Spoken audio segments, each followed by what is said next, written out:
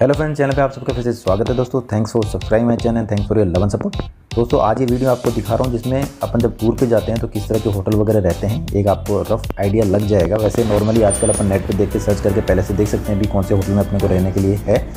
इसमें जो आपके होटल में जाते हैं तो seven hundred fifty rupees per day आप इसमें क्लेम कर सकते हैं। फ़ूड के लिए आपको eight hundred rupees per day मिलता है। कन्वेंस जब कन्वेंस जो ऑटो बस वगैरह आप यूज़ करते हैं सिटी के अंदर में, उसके लिए ट्वेल्व रुपीज़ पर किलोमीटर आप इसमें क्लेम कर सकते हैं। Subject to two hundred twenty five rupees per day train और बस में आप जाते हैं तो जो सेकंड एसी का किराया रहता है उसके इक्वलेंट आप उसमें क्लेम कर सकते हैं। अगर ज़्यादा करते हैं तो उसको रिम्बर्स के लिए उसमें सेकंड एसी तक उसको इंटाइटल करके उसको वहाँ पे स्टिक कर दिया जाता है।